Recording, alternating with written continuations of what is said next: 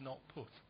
Uh, in other words, the legitimacy of the basic propositions that have underpinned a lot of child protection policy in many, many countries are not challenged, except in one space, and that's where it comes to the internet. And one of, one of my basic uh, points is I don't see any reason why, just because the internet is around and this new technology is developed, is that we should abandon any notion that we no longer have a responsibility to try and uphold rules that we've developed for different reasons over many, many, uh, many, many years. But here's a couple of the problems that I see with this debate, and I'm, Anjan's absolutely right. There's certainly not going to be an, a finished or definitive view at the end of today.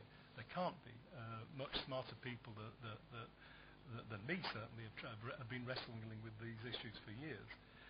One of the problems with the debate is, is it tends to take place again on a very, very broad spectrum a very, and, a, and a very high level of, of generalization. We speak about children and young people as if they were a, a homogenous group. They ain't.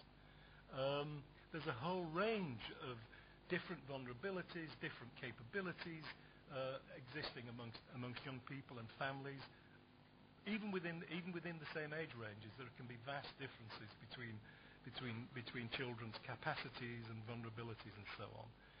And you know, one of the things that we hear all of the time is the importance about media literacy as being one of the keys to unlock all this. And of course, I'm absolutely 100% in favour of media literacy.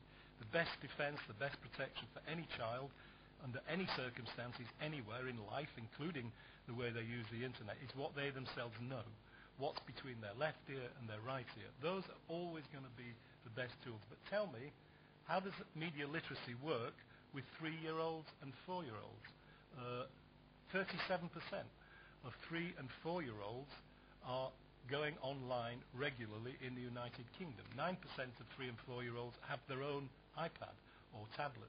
Both of those numbers are going to go up as the technology gets cheaper and more, more easily available. How, tell me, how does media literacy work with three and four-year-olds? What you then end up with is wagging your finger and saying to parents, now you mustn't let three and four-year-olds go on or use the internet unsupervised. But we know wagging your finger doesn't work. Look at other areas of social policy. Look at, look at family breakdowns. Look at teenage pregnancy. Look at a whole range of other areas where we have tried to talk to people and tried to persuade people, uh, families, parents, behave in a particular way. Um, and it hasn't been anything like as successful as we would have wanted to be. Uh, and it's exactly the same, I'm afraid, in the area of the internet. And that's why I think the technology companies who develop this wonderful technology have a particular responsibility to do everything they can, both at the level of education and awareness, but also at a technical level, to try and support good practices amongst parents and good, good protection for kids. Because let's be clear, never, never before has a social space like the internet existed. By and large, you know, we go through, you know, we go through life more or less associating with people of our own age or with, within our own social groups and within our own social class. And uh, actually, when you think about the rules about uh, the kind of material that we can access, uh, cinema rules about gambling and alcohol and all of these things. These are framed in, in that way in terms of the in terms of age groups and so on. The internet's very disruptive in the in the sense that I'm not saying it's a bad thing. I'm simply stating it as a fact that the internet, nothing like it has existed before, where on a very very large scale such a very wide range of people of different ages, different social backgrounds, different attitudes are brought together uh, in the way that in the, in the way that it is. And I and I, I just don't think that the way that we're handling things at the moment is likely to be sustainable in, in the long run. So I guess my my basic point and my complete my concluding point is this: the internet is trying to do too much for too many people across too diverse a range of interests, and that in the long run is not going to be sustainable. We're going to have to move to an environment where we have a much, much greater de- degree of certainty about who users are. And, and once we have that, then I think a lot of other things will start to fall into place. So that's not an argument against free speech. It's not an argument against kids having access to information. I'm absolutely uh, very strongly in favour of that. Of course I am. But it is an argument for saying that we need to think of a better way of doing it than we've managed up to now. Uh, if I may just add uh, or ask you a question or to clarify, when you said that um, internet is trying to do too much or too many things, uh, who are you referring to here? No, my, my point is that the, the vast range of age, the, the range of ages that are, are mixing in a single space, uh, the range of materials that are accessible to three and four year olds, just as they are to 50 year olds and 60 year olds, that's never been, that's never existed before. It's only really through the internet that, that these sorts of questions have really taken on any salience. And I don't think in the long run that that position is, is sustainable. Uh, it's never worked in human history before. I don't think the mere fact that the internet now exists and that you've got these big platforms which are allowing that type of exchange to happen, I don't think that necessarily means that's the end of the debate and that we have to accept that as a permanent fact of life forever. In fact, I'm absolutely certain it will not be a, a fact of life forever because it, it, it, it's already showing signs of not working well enough. And I think those signs will get worse, not better, unless we act. First of all, John, it, it's good that you said that the internet um, isn't is doing too much in front of an American because you know we own the internet, and um, we'll, we'll we'll take care of that. In fact, in fact, the next time our government shuts down, maybe we'll we'll get somebody to turn the internet off for a while, and, and then we won't be doing anything like the government. Um, we need to remember here that we're talking about speech. Now, I know that the First Amendment to the United States Constitution is a local ordinance. It doesn't apply to the United Kingdom or any other country.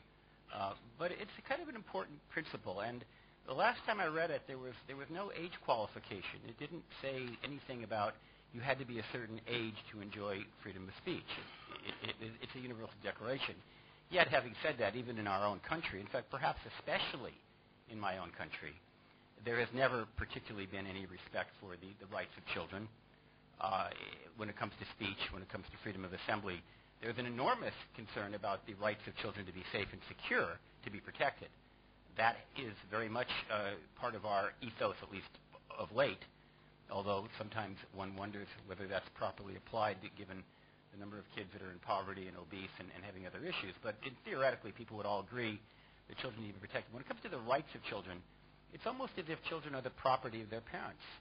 Uh, that is very much true in the United States. In fact, I have to say that the country that you live in, John, and I think many of the countries here actually have a more progressive attitude towards children's privacy, for example, than the United States does. In the United States, children have no presumption of any privacy vis-a-vis their own parents. A parent has the right to snoop on the child at any point, at any time, in any medium. And in fact, as I understand it, uh, that is not the case in much of Europe and the United, and the United Kingdom, where children actually have real privacy rights in that no one, including their own parents, have a right to impose. So, uh, you know, this is not, I am not coming from a position of any moral superiority uh, when I come, in terms of the country I happen to, to, to live in and come from.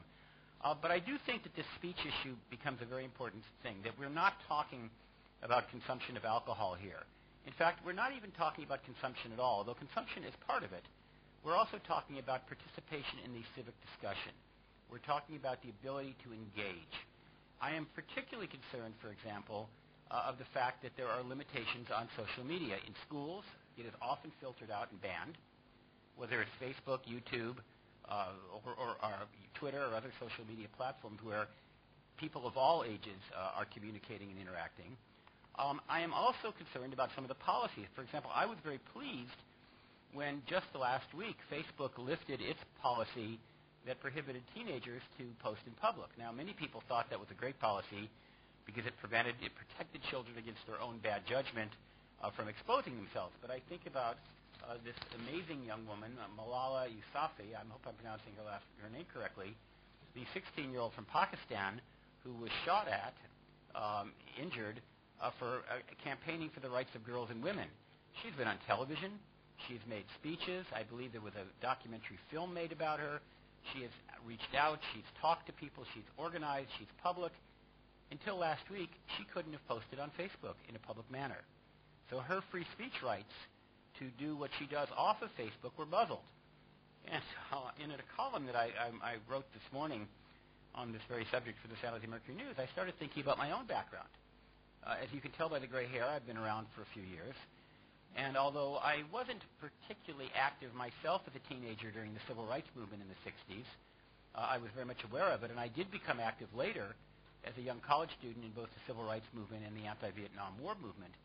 And it was young people, not just college students, high school, teenagers, who put themselves on the line, who made speeches, who appeared on radio, who appeared on television, who in some cases were tear gassed, beaten, and arrested for their political and social beliefs, and who changed the world.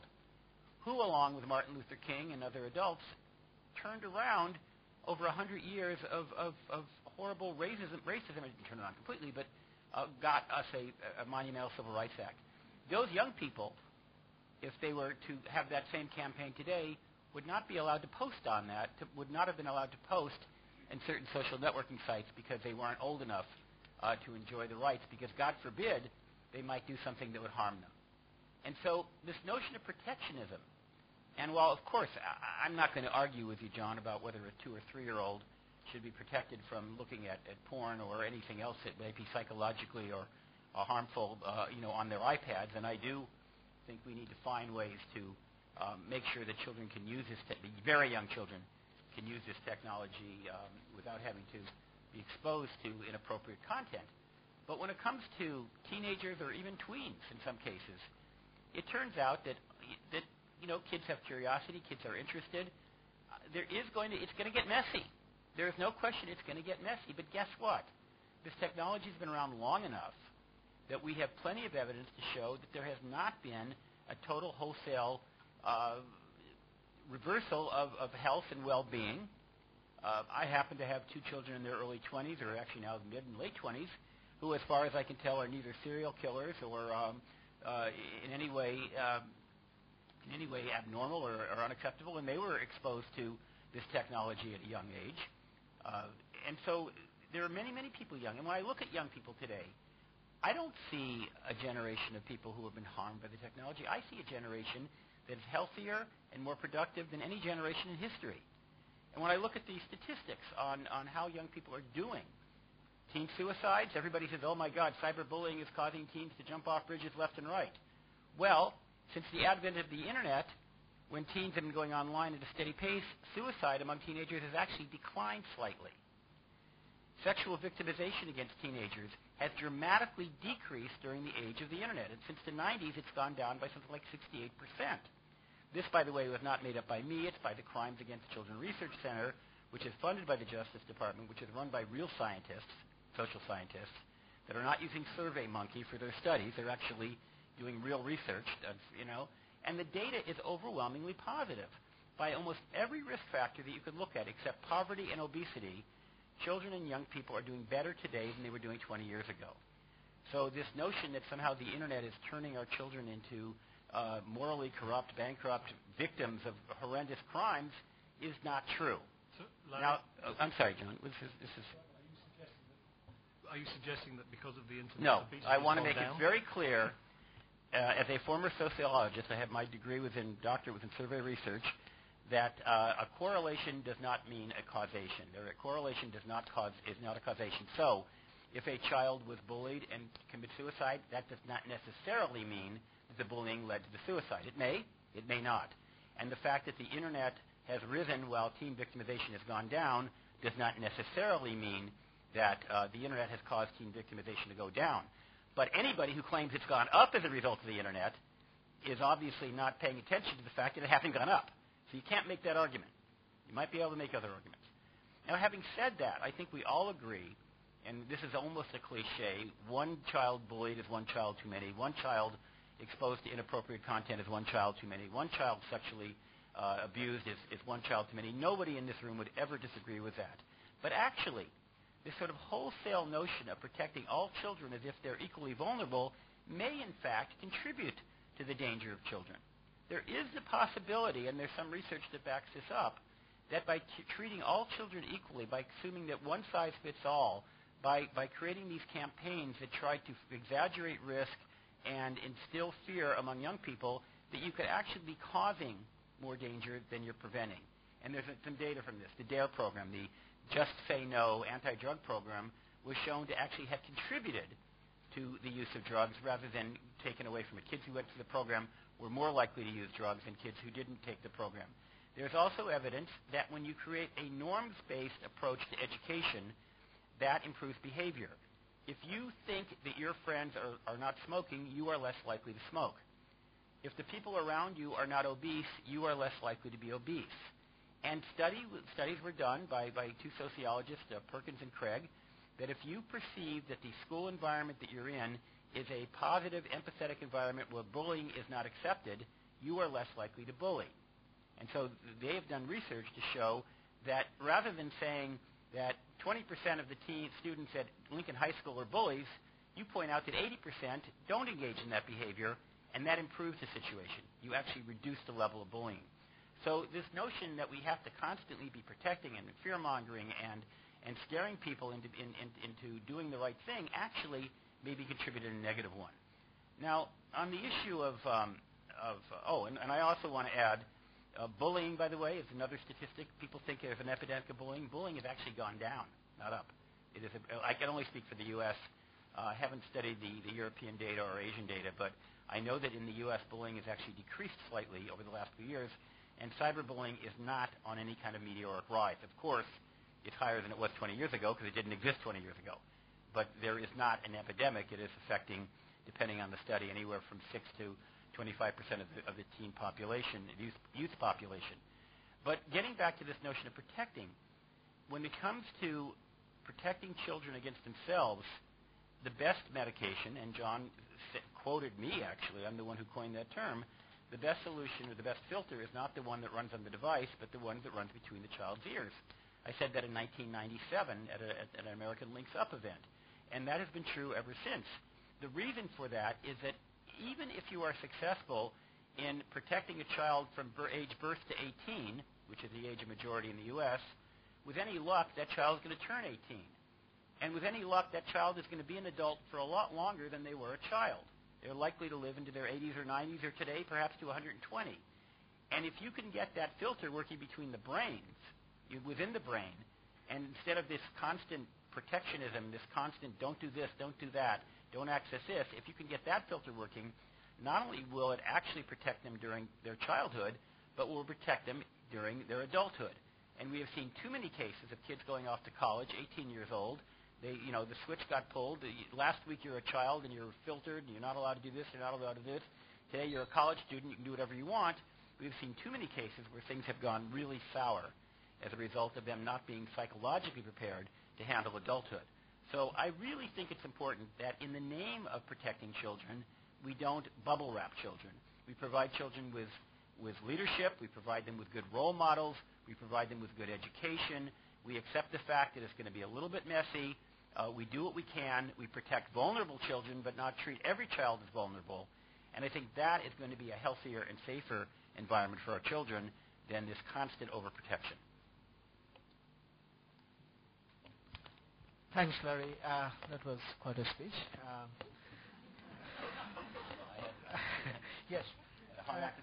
Uh, yes, uh, I will. I will have John to respond to you, and um, just want to say that I mean, what we are trying to to reach out is um, how do we achieve that state? You know, how do we give that empowerment to children, the rights, and at the same time protect one single child? So that's the challenge. That's the big challenge that's ahead of us. And um, both of you were right in the sense that there is no uniform vulnerability, and it, uh, we know that it varies across the board, across the region, across cultures.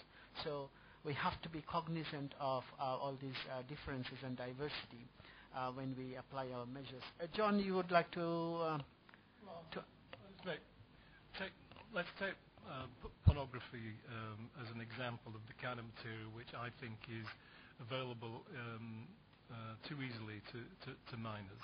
Now, there's a, a lot of research being done, particularly in the 60s and 70s, about whether porn is a good thing or a bad thing, whether it ha- has an adverse effect or no effect uh, on, on, on people. Uh, the problem with that old research is essentially two, twofold. First of all, what they meant by pornography then, generally speaking, was a picture of a naked lady uh, in the center of a magazine like Playboy or something like that. It was it's, it's what today would, would be called certainly soft porn. It might even not be classified as porn uh, anymore because it's so. the Sunday supplement, or what, it, perhaps it, it, even that. The kind of when I speak about pornography and the kind of concerns that exist around that, I'm talking about pictures and images of violence towards, generally towards women, certainly highly misogynistic, uh, often bizarre uh, sorts of sexual practices which never before in human history have, have, has been available on the scale that it is now, 24/7, 365 days a year, uh, free, constantly there on tap. We are at the moment living in the middle of, I can't remember who said this first, sadly it wasn't me, but we are at the moment living through the biggest experiment ever in the, in, in the upbringing of children. And I certainly don't think it can possibly be to the good. And I can't prove it because there aren't the longitudinal studies. There aren't the kind of long-term in-depth analyses of the impact of this material on children. But I, I guess every every kind of instinct that I have, and some, some preliminary research findings suggest that exposure to that type of material to, to, to children is completely distorting, particularly girls' ideas of self-worth and self-image and things of that kind. Now, I think that is a, exactly the kind of material where there ought to be, the, the precautionary principle ought to be applied. We ought to be better, be able to do better to preserve uh, particularly younger people from being exposed to that kind of material uh, better than we are now. Now, some people say that's a limitation on their free speech rights.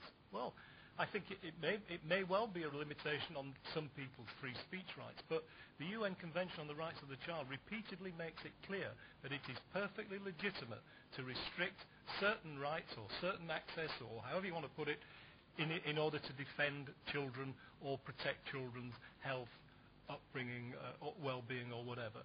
Uh, and, I think it applies not just to pornography, by the way. I just think that's, that's the one that most people speak about most frequently.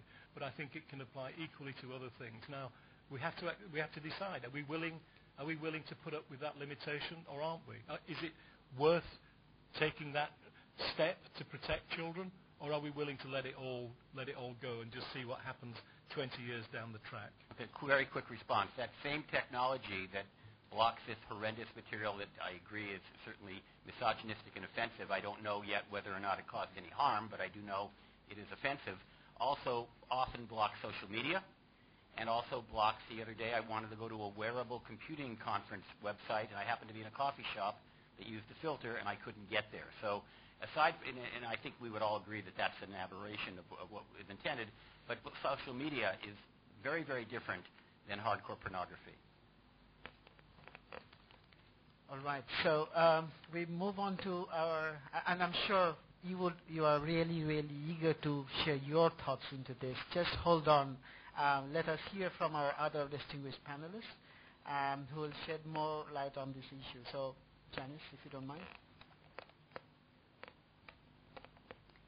Yes, certainly. I'd like to pick up on a couple of points, but first of all, I'm going to talk about the three Ps positive, parent, and partnership.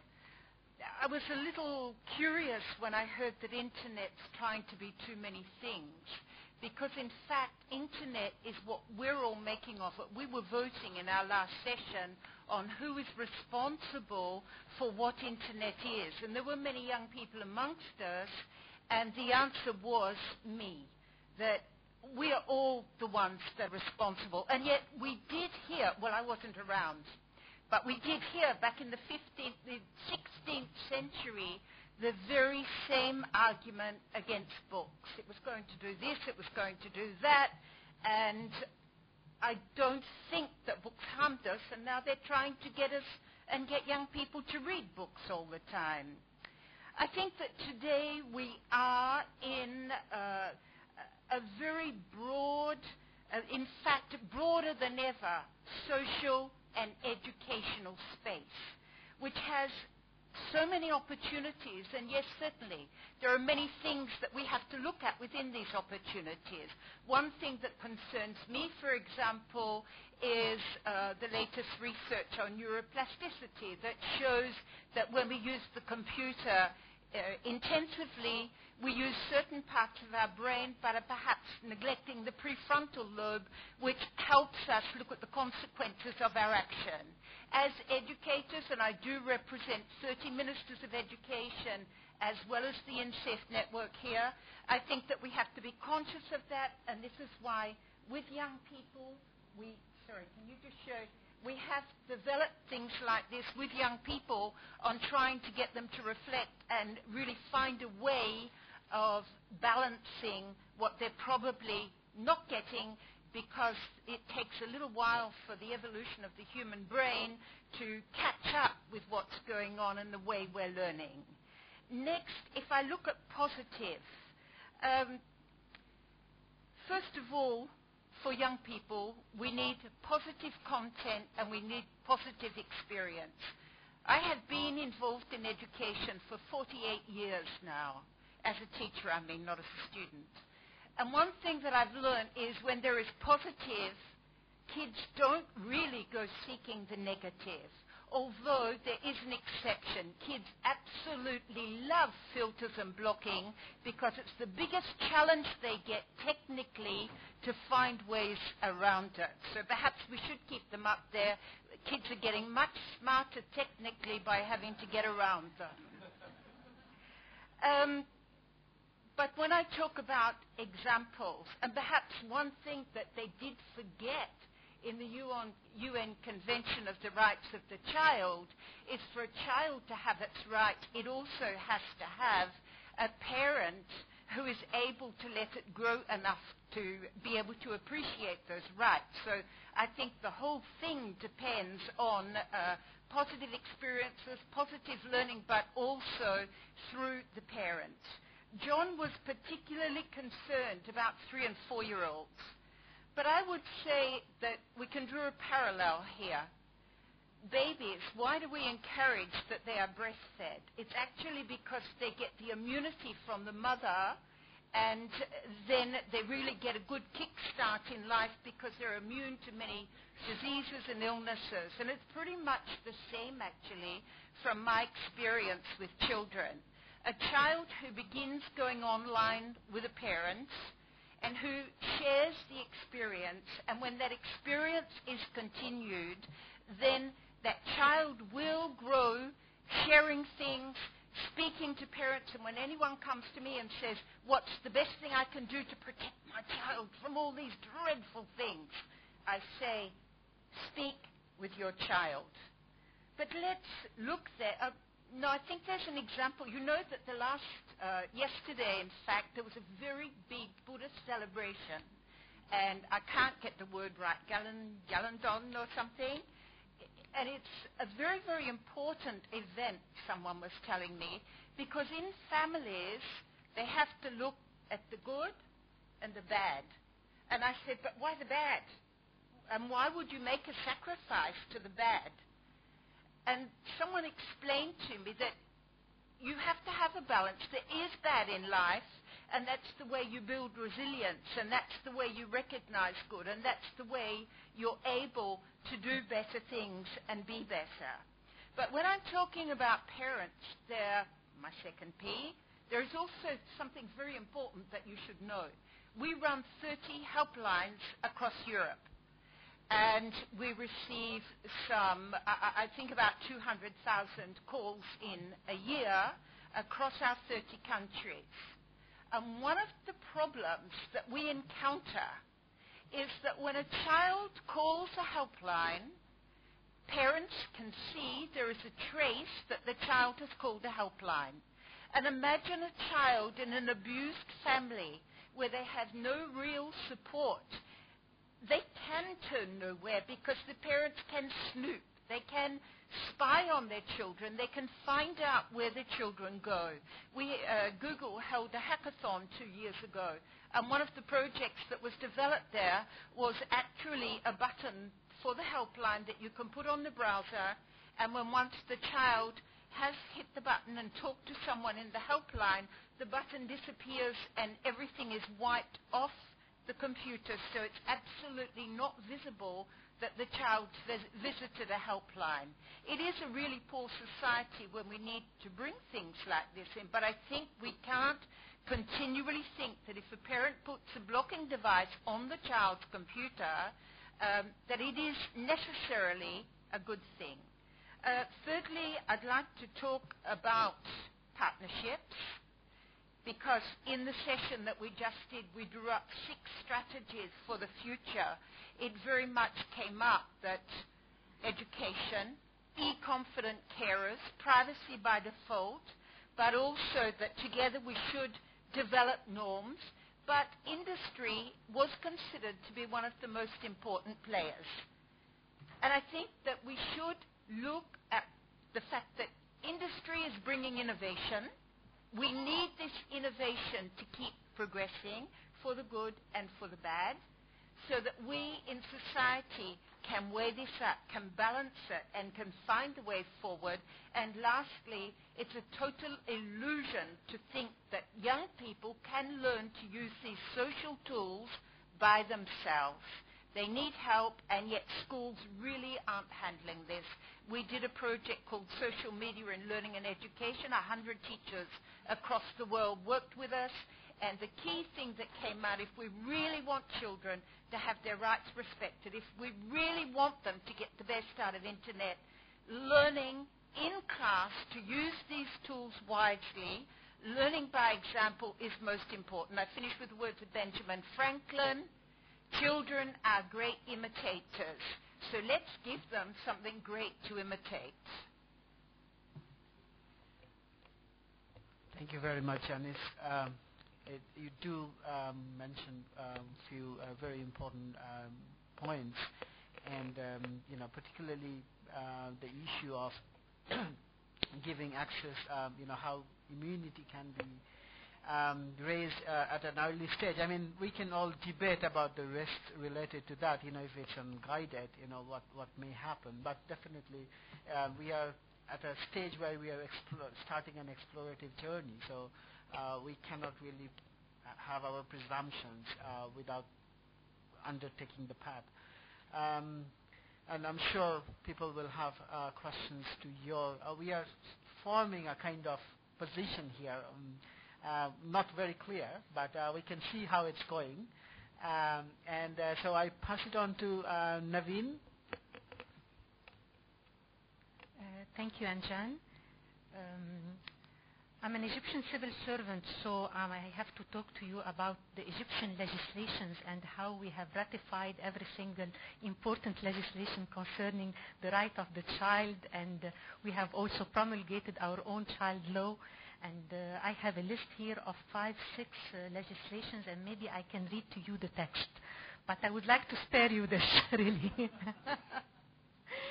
so, briefly, yes, our legal framework is in place. Okay? So, theoretically, all is fine, all is set very well. And practically, the situation is completely different. I'm, I'm very proud to be a civil servant and at the same time to be someone who has been working maybe with many members of, uh, of the panel here and someone who has worked also with Egyptian children. And I have to say that on the level of freedom of expression and protection, uh, we are facing a very big challenge because uh, our country is going through um, a real transformation, a social, economic, and political transformation. And this transformation that is happening offline is happening also online. So uh, while we have actually all these uh, treaties, all these uh, laws uh, in place that are trying to balance as much as possible between the rights and the protection of the child, we find that society uh, is actually being polarized. We have like a dichotomy. On the one hand, we have schools and parents uh, who are trying to overprotect the children overprotect them sometimes at the expense of their um, of freedom of expression, as long as they are safe, as long as they are not exposed to any risks or threats online, as long as their culture, their uh, principles, their values, uh, their religion is well preserved. This is one, one uh, camp. And on the other hand, we have a community, civil society are children in the streets, children who have actually taken to the streets in, in 2011 in the Egyptian revolution and again on the 30th of June, who have been, uh, who are actually uh, younger than 18 and who have been extremely, extremely uh, active on Facebook without uh, uh, revealing their real age, who have been extremely active on Twitter as well, and who have, to a large extent, reshaped um, the, the, political agenda. I know of several names of those children who have not reached uh, the age of 18, thus they are children according to the UN Convention, who have been actually engaged in civil, uh, in the civil movement that have taken place in political movements, who have been killed and um, uh, in these movements. So we have uh, two, two, two scenes actually: the, the school and uh, the, the, the household that is trying to overprotect, then um, the, the, the streets or the children who have access to the internet in uh, IT clubs who do, are not uh, who, that are not uh, uh, completely supervised and who have actually shaped the political agenda of Egypt to a large extent and who have been actually pushing also the borderlines of what could be uh, acceptable uh, by the child. And, and I think that we are facing quite a big challenge, and uh, this challenge is faced by teachers, by the educational institution, uh, by parents, and by the society at large, and that it requires really a social uh, uh dialogue to, to set really the rules of the game or to set some basic principles for, uh, for uh, online, online interaction of children. We still have a very long way forward because I think that these rules are not yet clear, they are not yet set, and they require really a, a, a real peer dialogue, peer-to-peer dialogue. They also require something that until now I don't see enough uh, of in the Egyptian society, which are NGOs concerned with the right of the child online, not just the right of the child for, um, for life, uh, for, uh, uh, for physical protection, for food, but also the right of the child um, uh, for expression of opinion. I think our NGOs are busy doing other things for the moment. But we, I also have strong hopes that um, we have a strong uh, institute, the National Council for Childhood and Motherhood, uh, that uh, is uh, trying to integrate new text in the Egyptian, the new Egyptian constitution that is currently being um, written about the rights of the child. And I hope that this um, Council for Childhood and Motherhood would also have strong activities on the ground. They have history in, in um, awareness raising, and I hope that they will continue along uh, this line. Uh, so uh, finally, I have to say that um, the solution is not, again, it's not a zero-sum game, as John mentioned, and um, um, it, the, the, guided supervision or the, the, the, media literacy of the parents and the teachers and society in general is irreplaceable uh, for, for, to guide the child, particularly that the child has outgrown actually uh, the teacher sometime and his own parent. Thank you. Thank you very much, Anis.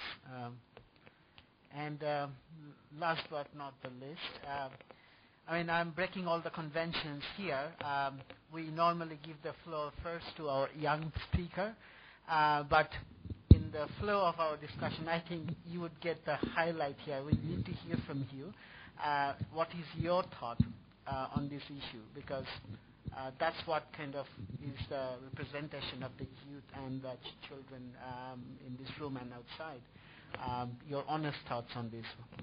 Okay. Uh, so uh, this is Yanis from DotKids Foundation. Maybe I just a uh, little bit background about our foundation. And actually, our foundation, uh, is, our mission is to really create a kids-friendly internet through this uh, DotKids domain, which like that means like for example we can have like the, the, the kids, which basically will provide like an easy a easy understanding of the this convention for the children so that they can understand the rights better and they can like find this uh, they can find more kids-friendly content in this like dedicated space for them because I think uh, what we're talking right now about like how we can really protect the children on this internet uh, because out there there are a lot of like uh, harmful content for them and uh, and but at the same time, we really want to balance their rights.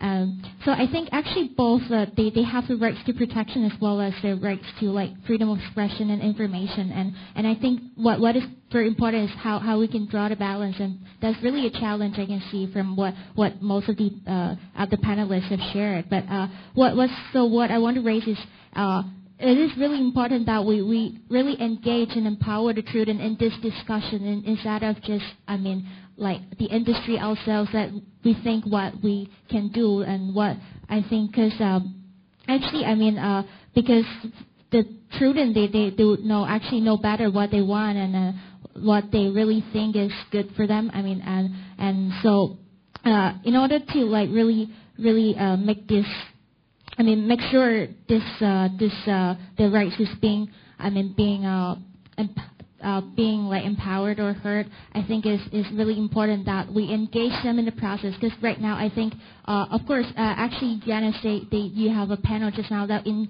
involve a lot of young people which is good. But uh, at at the same time I mean. Uh, right now in the policy making level, actually, I think there's really not enough like involvement with the uh, with the young people. Even I mean, is is usually they, they speak, but I mean, when when we make policy, we actually didn't really involve those opinion from. Uh, I mean, I think uh, so. Actually, I, I think with this, uh, our foundation is with this uh, DotKids uh, foundation. Actually, we're hoping to like really involve have a children advisory council that we can get children to join in and discuss with a guideline that we can put in place and to set a framework that uh, I mean it can it can imply for on this uh, internet namespace that is specially for them, and so to make sure it is it is a it is a good place for them and. Yeah, so I think I think uh, we always forget. I mean, we always just focus on what the parents want. That is really want to protect them, but we never hear what the children that really really want, and because sometimes they don't really want the privacy to be invaded and as such. Yeah. Thank you very much. Can I ask you a question? Uh, do you yes. think you are being overprotected? Well, actually, I, I would say because actually I'm I'm not under 18 right now, and I, I'm not really a children, and and so I, I think I, I have my I mean I, I am a fully independent adult right now. Uh, so because actually there is over there is some some other younger panel. Maybe they're like a better. I'm coming to them. Yeah, a better target to ask this question. Absolutely, absolutely. Um, because uh, the reason why I asked this question is because uh, we need to uh, to understand, you know, the position and uh, whether it's it's a segment of the society that feels that children are overprotected. What do children feel themselves? Uh, do they? And uh, of course, you, now you're an adult, and we will come back to our younger population out there. Um, before I open up uh, to the floor, just a quick um, thought, uh, realization that, and this is in agreement with what John had said earlier, and we had spoken about this many a times, is that uh, we do fundamentally believe in the, the need for education awareness, and we are all seeing that. We are hearing that a lot. Um, in, in areas where the education doesn't reach the intended population, right?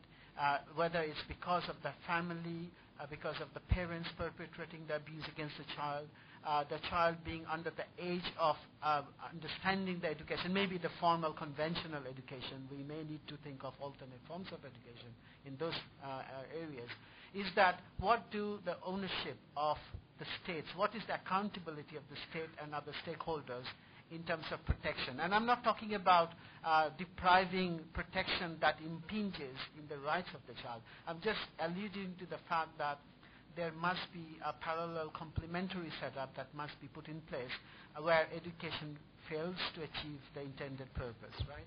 So, I mean, just a thought that I wanted to share with you in relation to this discussion. And with that, I open up uh, the floor to feed into uh, this very thought-provocative uh, topic uh, discussion. Anybody want to go first? Brave enough? Um, how about, okay, so Susie here, and I will take a few more hands before. Is there anybody else? Okay. Um, you there, right? So I will. Now I'm coming back to my convention. I'm giving to the young people first, okay? Uh, please introduce uh, your, uh, yourself, your, your name, and your, the organization that you represent. Okay, hi everyone. I'm Jian, and I'm from ICT Network Ambassadors Hong Kong. And um, regarding everything that's you know that the panelists have been talking about, I just want to share um, from a youth perspective. Um, I do think that you know it's not. I don't. I do think that uh, restriction is not necessary because I feel like if you restrict a, ch- a child more on how they use the internet, I feel like they would be more curious as to why you're restricting them. Um, this is based on personal experience because I have a younger brother, and and yes, um, we we don't we don't really restrict him as to how he uses the internet, but we do tell him like this is how you should be using the internet. And since um, he is the youngest and um, I have another older sibling, we are the ones who tell him how to properly properly use the internet.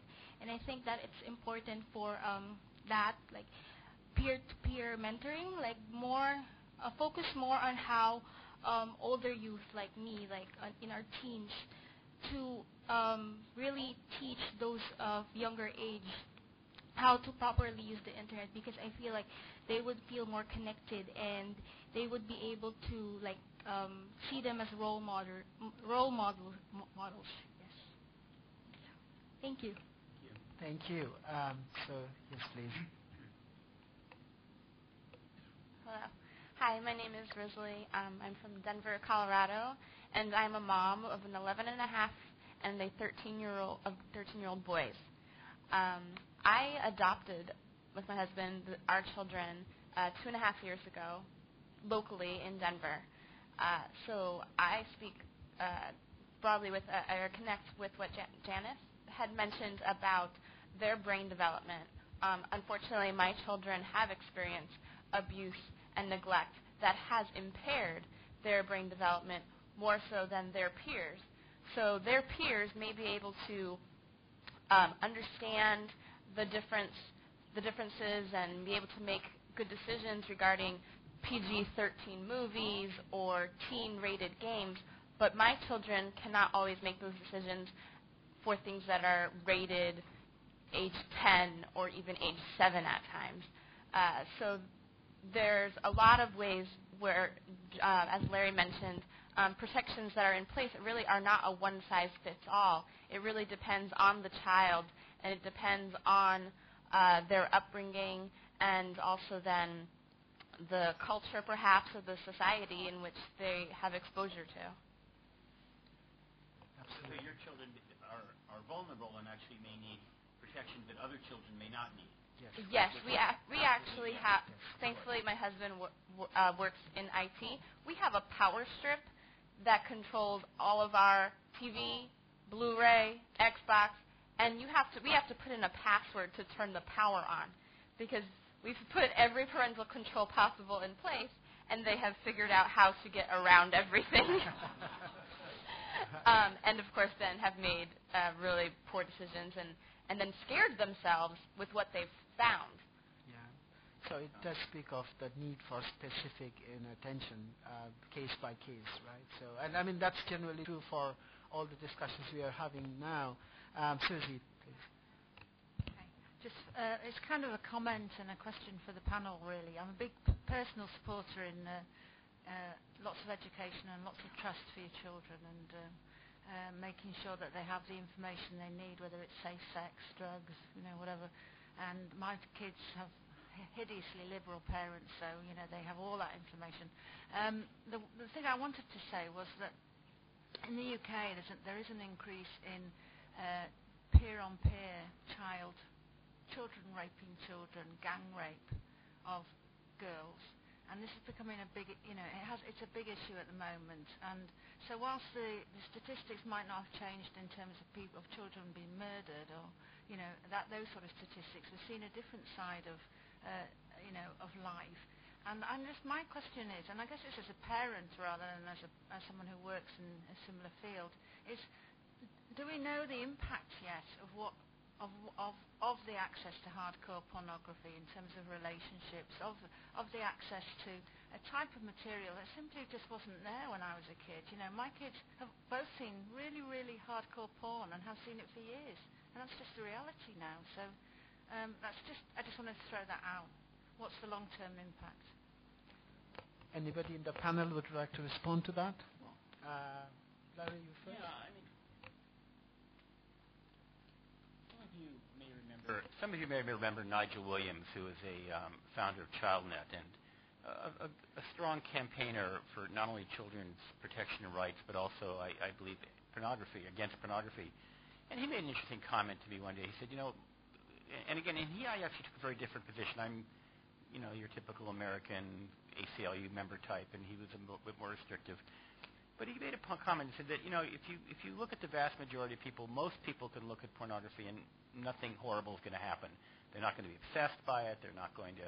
Uh, it's not going to make them violent. It's not going to cause X Y Z problem. But some people will. There will be always some people, and and and it's it's a fair observation, and I, and I it's it's hard for me to deny that. But that doesn't mean. But that's true with a lot of things.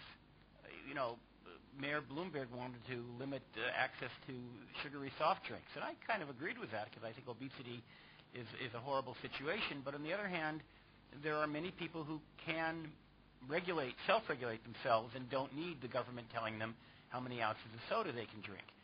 And I think that that, that there is a a tendency to look at the problems that exist and assume that we need to regulate the entire population because a small number of people are going to see something and react. And whether that's terrorism, whether that's uh, sexual abuse, whatever it is, there will always be a small number of people who react. We do know, for example, and th- this is, uh, I'm, I don't want to drag this panel into, how can I say this? We do know that people who commit crimes may look at pornography But again, getting back to that correlation causation, that doesn't mean that people who look at pornography necessarily commit crimes. Um, and so I just think we need to be very careful about that. I haven't looked at the UK statistics. I don't know how prevalent they are. I don't know if this is a uh, sort of a, a blip or a, or a trend. I, you know, you probably know more than I do. But I, I just caution you that just because there are some horrific cases that have occurred, that we don't automatically make the assumption that these are happening as a result of the internet. Because what we do know longitudinally, there are some things we do know. We do know that, again, to repeat, since the internet has grown, since the 90s, there has not been overall, at least in the United States, a increase in, in and by the way, when I was talking about violence against children, I was also talking about sexual violence, that rape in the United States is down. Now, again, that doesn't mean there couldn't be a, a, a situation where a bunch of them occur. But overall, over the past 20 years, there has not been an epidemic of sexual crimes against young people uh, that has correlated with the growth of the internet. So that we know from research, uh, and I, it's impossible for me to know what was in the minds of these people who committed the crimes that you're describing. You want to respond. Uh, may, maybe can I just say very quickly one thing reg regarding the point that Larry mentioned and what Susie said, because they are kind of two different things in a way. Uh, you are mentioning um, the impact of pornography on children, uh, and what are the, the ramifications of you know exposure from a, an early age and so on uh, what you alluded to, uh, Larry, is you know the impact of pornography on offenders, you know, and the impact of ex being exposed to pornography and then committing a crime. Uh, I, I, think there is a bit of distinction here. There are two different things, and um, John can probably come into the picture later on the UK case. You know, the two um, very recent cases that led to the consternation. So maybe uh, we'll hear from Janice first. Well, first of all, your example with the soda and banning the soda is a very good example because ban anything, restrict anything, and that really makes it that much more desirable. And kids and adults really go out to get it because it's not allowed. But the other thing, I, I don't know where they find this hard porn actually. I've been on the internet connected at least 10 hours a day for 20 years now and I've never come across it. So he'll help me find that. Thanks. But I was very concerned about this, and the only real figures I could find were about games. There has been a lot of research on games, and very in-depth, longitudinal research on kids playing games. And in fact, it seems that the findings are if you have a group of children who play games, violent games, uh, anti-feminist games, uh, consistently. You have a second group who just play from time to time, and you have a third group who actually never get their hands on the internet because they're not online. It is proven that it's the not online group that is showing the most violence and who are the most violent. So you spoke about causation, and yeah, we don't really know. Is it because they're deprived of an opportunity? What is it? But I found that that information that's coming out time and time again uh, has sort of killed the debate on violence. And I think that perhaps uh, sh- it could be applied across other things. I can't guarantee it, but I think that we can learn from the areas where such research has been done. Just uh, the U.S. Supreme Court overturned California's ban. The U.S. Supreme Court overturned California's ban against violent games based on the expert testimony and research, uh, they concluded that there couldn't, they could not draw a, a direct conclusion that violent games was causing violent behavior. And that's the conservative Supreme Court. Uh, Zhou Enlai uh, was once asked what he thought the impact of the French Revolution had been on, on the course of Euro- European history. And he said, it's too soon to say. Um, and, you know, I'm absolutely clear. I don't know. Uh, I can't possibly know. Nobody in this room can possibly know what the long-term consequences of this new environment are going to be on young people, uh, or indeed any of us. Uh, and I, I, think the analogy with the emergence of books and, you know, in the 16th century or 15th century, whenever it was, or analogies about the emergence of television and video, I think they all completely miss the point because this is the, the, the internet is such a qualitatively and quantitatively different medium from any of those individual things that it, it's simply obvious to me that we're, are, we are engaged in a big experiment. Nobody can know what the long-term effects of this are going to be.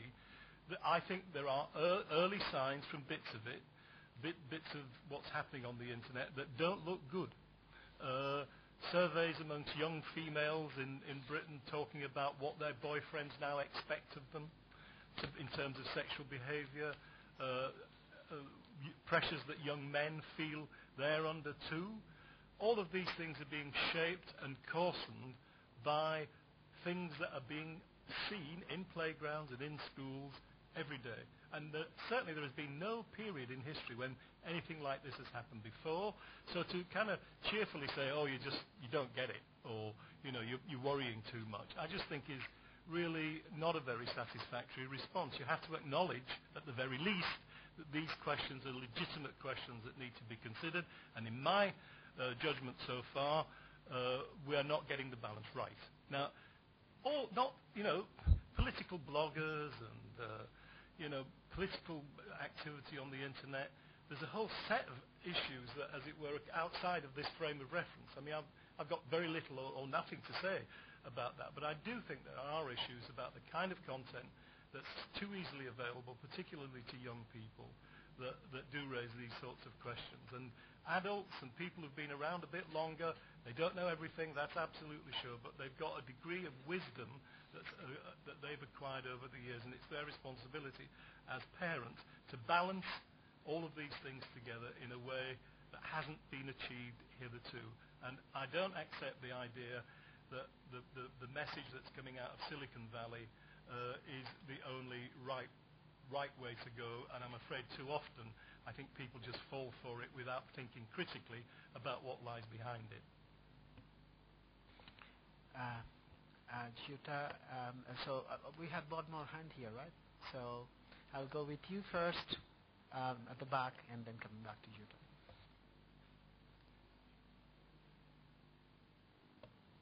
People could identify themselves, by the way, if you don't mind. Sorry. Try again. Abhilash Nair, Northumbria University. Um, the the issue of you know finding the or looking for the impact of pornography on children or young people, that debate has happened for a long time, pre-internet. You know, when it started regulating pornography, age-based restrictions on pornography, obviously they had to find a, a justification for restricting freedom of expression, freedom of speech. Now, it wasn't based on any credible evidence of harm that pornography, pre-internet, was regulated with respect to children. It was a perceived risk of harm, and a credible risk of harm as opposed to an actual evidence of harm was good enough justification for restricting um, sale of pornographic material to children. Now, what the internet has changed is, as John said, the, the, the quantity and quality has changed so substantially that the, quantity and quality of, porn available on the internet has changed substantially, which raised new, challenges. Nobody is saying, suggesting that we need to have new controls from a legal perspective uh, for regulation. Uh, the, impracticalities of applying existing pre, pre-internet legislation was what prompted uh, new initiatives. I don't think anybody in this room disagrees that a child should be able to go into a sex shop and buy stuff a child is not supposed to buy drawing the similar analogy, a child should not be able to access content which is not meant for a child. And whether it's up to the state to do it entirely, no, the answer is no. The state cannot uh, take up the responsibility of parents uh, in, in, the, in that process. But I think the danger is here, if we base this debate on impact of porn or the evidence of harm, that, that, that's a tricky, a slippery slope, really, because there is no, you will find a few studies which point to harm, you'll find an equal number, if not more, studies which point uh, to no harm, you know, but we know that there are people who actually are harmed by pornography. If that makes any sense. Yeah, very good comments, I think. Um, yes, uh, the, the MP from the back. Uh, Thank you. Uh, my name is uh, Alun Cairns. I'm a member of the uh, UK uh, Parliament, the House of Commons. Um, I, the UN Convention on the Rights of the Child, I haven't got an issue with that, and I think it's reasonable. And if we're in, in reality, the difference between paragraph 1 and paragraph 2 provides sufficient loopholes so that we can make it apply to almost any situation.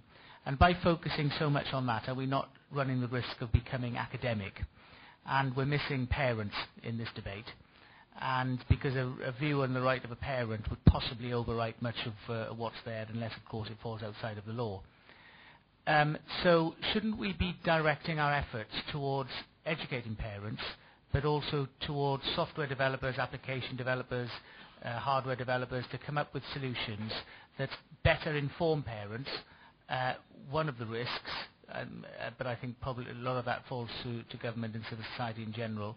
But in terms of in terms of managing that risk and reducing that risk in line with their priorities and in line with their choices. Yeah, well, I, I, I appreciate that coming from a regulator or a member of parliament, a, a person whose business it is to make laws, because that that is actually a very enlightened approach that if you're going to regulate children, you want to do so at the most local possible level. And you can't get any more local than the parent. Uh, one of the things that bothers me in the United States is we have this national law that says that school districts need to restrict access to the internet. If you're going to have such a policy, it should be made by at the lowest level, at the school district or the school itself, as opposed to a national law. Although, in fact, that law is very can be very broadly interpreted. Um, but I, I do think that even among parents, one needs to be careful that they put thought into how they use these technologies. So, for example, internet filtering has been around for a long time. And I don't object to internet filtering at all. I think it is an appropriate tool for some families. But I do object to these salespeople who go around and try to convince parents that they have a moral responsibility to install it to protect their children from these horrible consequences. In 2004, it was the predator. In 2008, it was the bully. In 2013, it's the privacy invader. And these, these, and, and these moral imperatives that one must install this software when millions and millions of children have grown up, including my own, without the use of that software and seem to have, as far as I can tell, done just fine. Uh, these are the kids that are creating these. You know, they're the ones that are running Facebook and Google. They may not be running it, but they're, they're doing the engineering. They're the kids who are bringing us into the 21st century with a vibrant economy again. After our generation blew it in 2008, um, and and so I I think that that one ought to consider these technologies. For example, the lady in the front row, Rosalind, um, uh, she had a, a thoughtful reason to employ technologies, but I don't think they should, there should be this moral imperative that you must use them.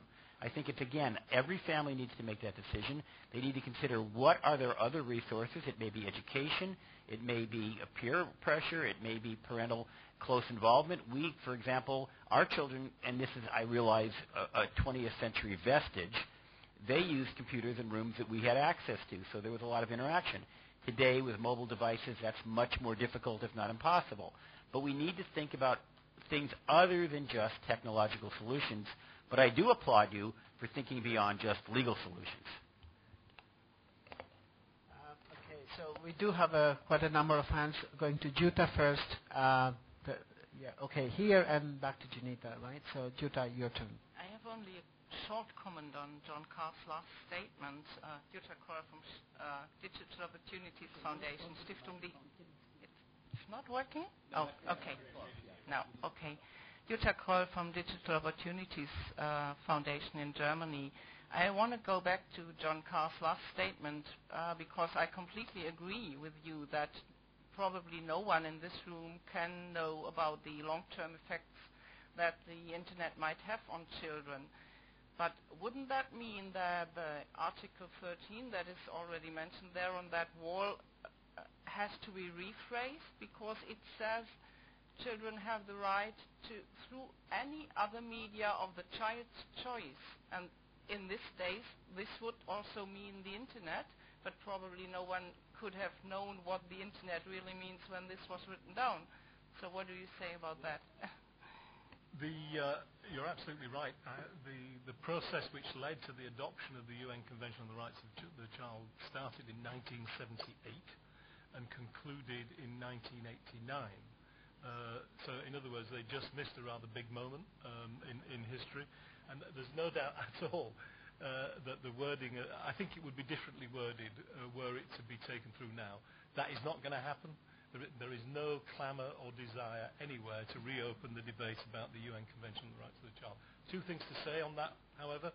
One is the uh, Committee on the Rights of the Child, which is the sort of body that ha- maintains ongoing sort of supervision or keep, keeps an eye on what's happening under the convention in, uh, on an ongoing basis, is going to have a, is it Aya? Aya's actually there's a lady here who knows much more about this than I do. But my understanding is uh, with UNICEF's uh, very direct involvement, there is going to be a discussion and a consideration of internet type dimensions to the child safety thing in the light of the in, in the light of the convention. So it won't result in an amendment to the convention, I don't think, or a new protocol, but there may be a day of comment and a day, an advice being given about how governments and uh, other agencies might interpret the, the convention in the light of the emergence of the internet. But just very quickly, you can see, I mean, there's all kinds of different clauses in the convention which, you know, are qualified or to some degree or another. And whilst it's true, and I, you know,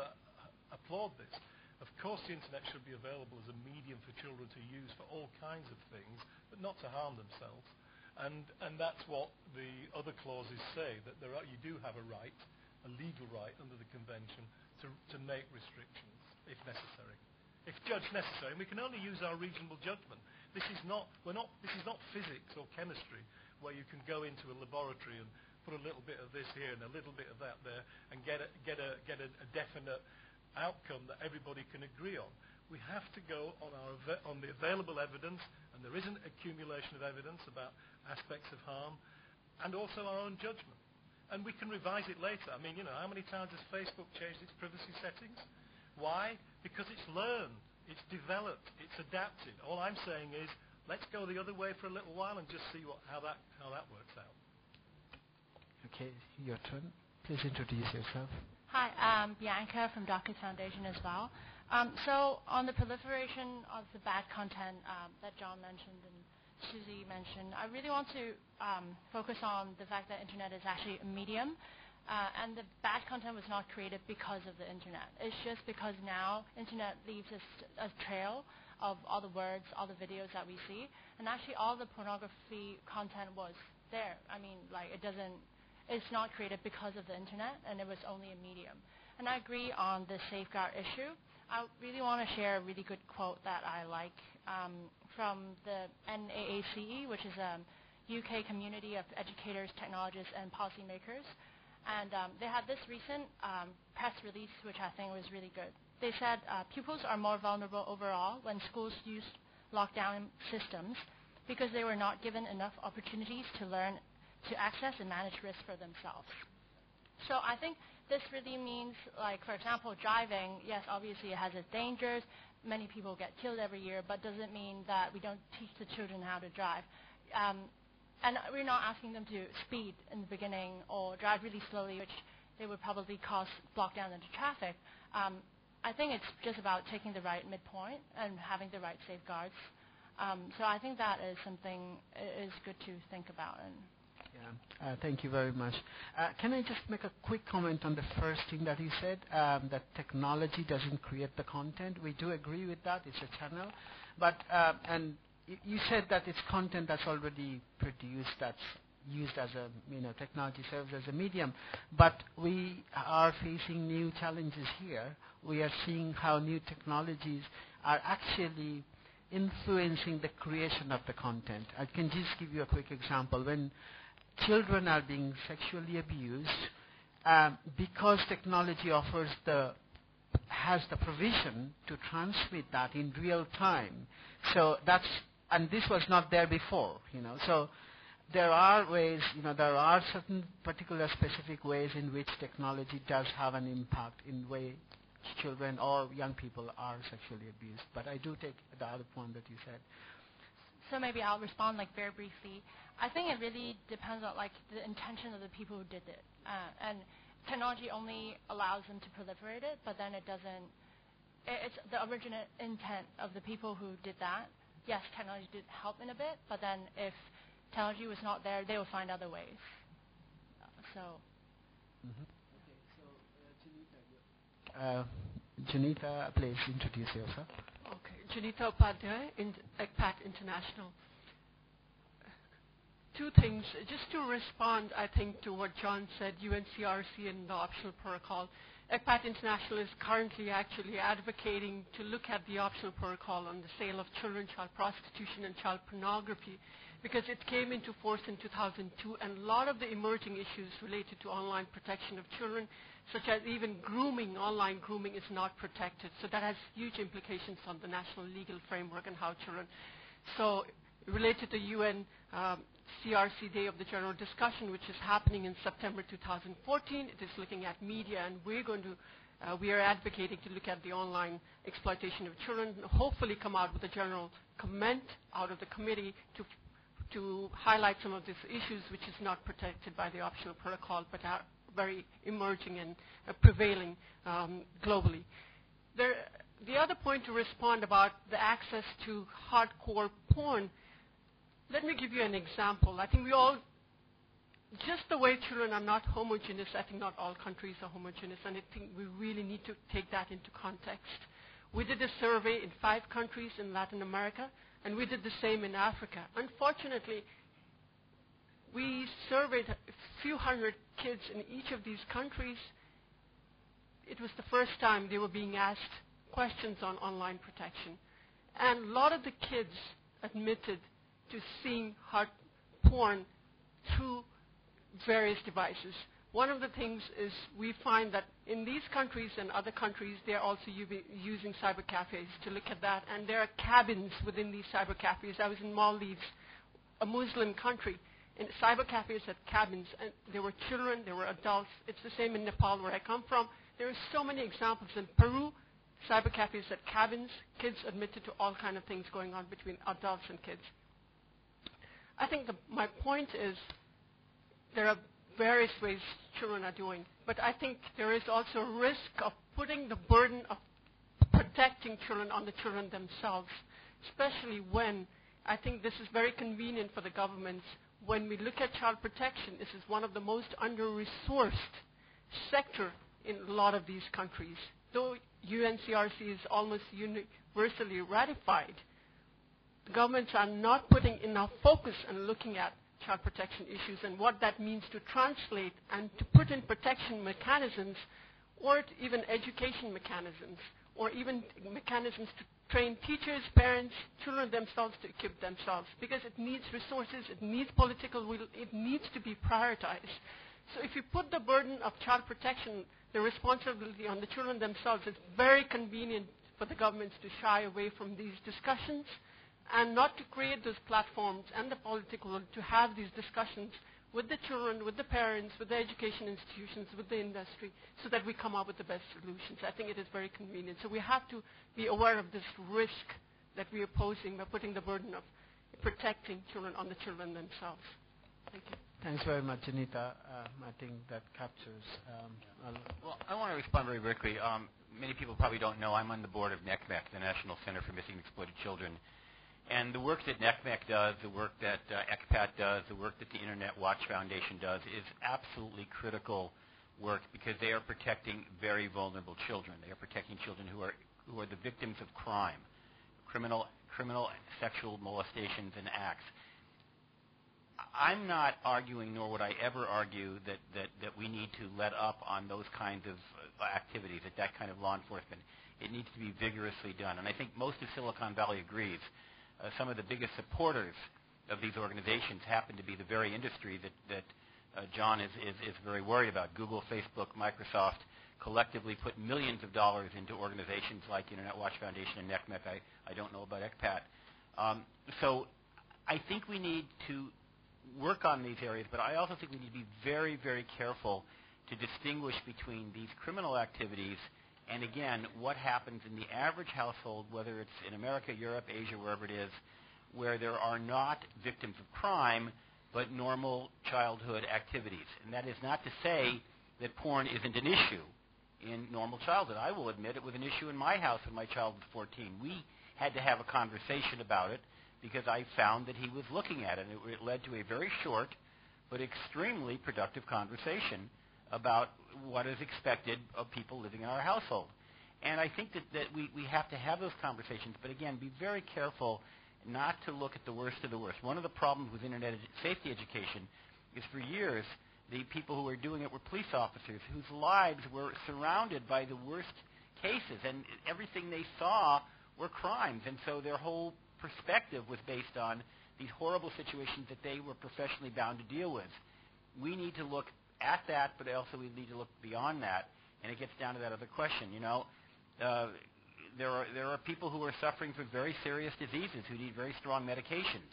But that doesn't mean that every one of us has to wake up every morning and take dozens of pills to protect us against illnesses that we're not likely to get. And so uh, we just need to be cautious about that. I also want to quickly address John's Pardon me? No, we well we do. But the last time when I the last time I got on a plane to Chicago, I did not take malaria medication. But when I got into a plane to Nairobi, I did. And so one needs to understand when one needs to be inoculated and when one doesn't. And as to John's point about the experiment, I kind of agree with you, John, that, that we are in kind of a situation where we have no clue what the future is going to bring.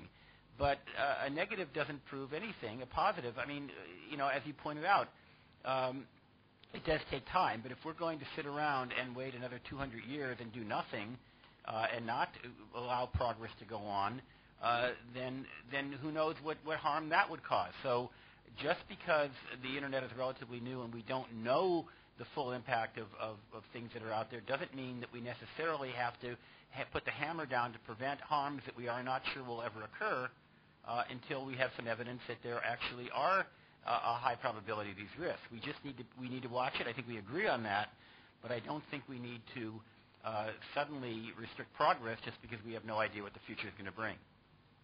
I, I, I know everybody else has got to go, and I certainly do. I just wanted to say the precautionary principle is a, an established point of view, a very respectable point of view when it comes to the protection of children.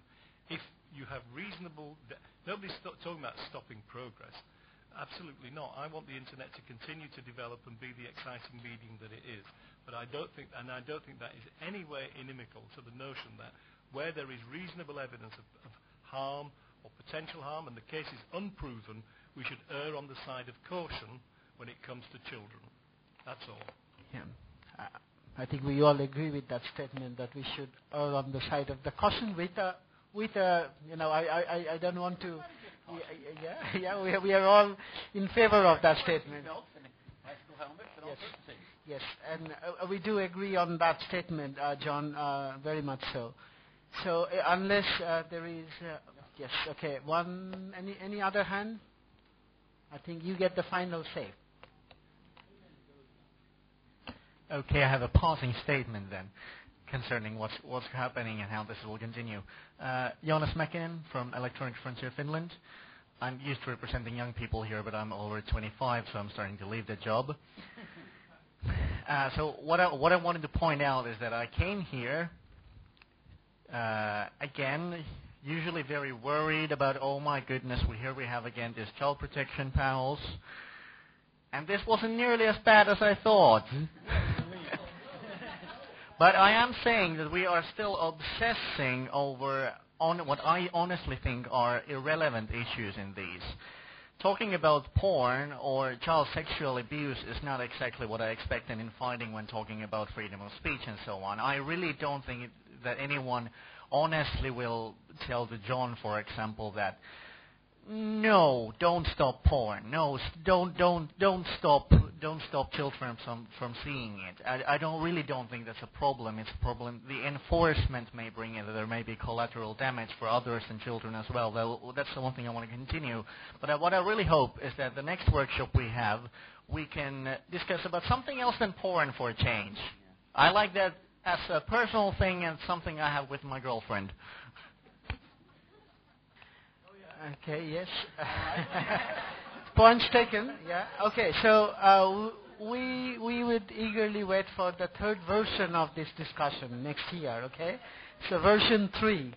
And um, so unless there is um, a compelling, a pressing issue that anybody, okay, Janice has a point. Anybody else from the floor? No? So, yes, Janice. So if you do have a version 3, please do me a favor replace the, world, uh, the word children protection, child protection, with children's well-being. I'd much prefer it. Okay. Yeah, doable. Okay, so with that, uh, I would like to thank everyone, particularly my panelists, and uh, all of you for uh, spending the last day, the last session of the day uh, with us and uh, with your eager participation. Uh, hopefully, Uh, you will have a good evening today and see you tomorrow. Thank you.